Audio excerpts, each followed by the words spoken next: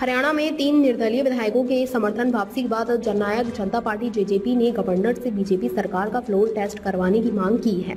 जसपा के राष्ट्रीय उपाध्यक्ष पूर्व डिप्टी सीएम दुष्यंत चौटाला ने दावा किया कि उन्होंने गवर्नर को चिट्ठी लिखी है, जिसमें कहा है कि सरकार का फ्लोर टेस्ट कराएँ।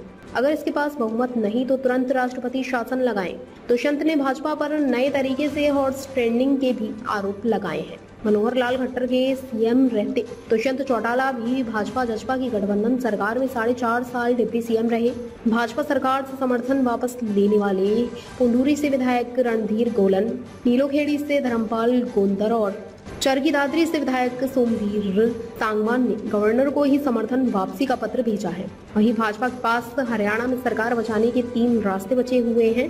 वहीं विपक्ष के पास भी दो रास्ते हैं, जिससे वह सरकार को गिरा सकते हैं। सूत्रों के मुताबिक इसके लिए विपक्ष मानसून सेंशन का इंतज़ार कर रहा है।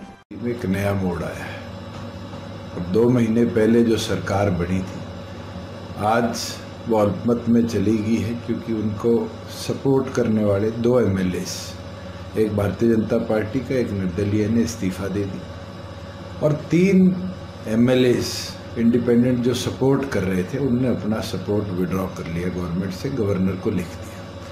जननायक जनता पार्टी ने खुल के कहा है कि अगर इस सरकार के खिलाफ अविश्वास प्रस्ताव आता है तो हम बाहर से उसका पूरा समर्थन करेंगे।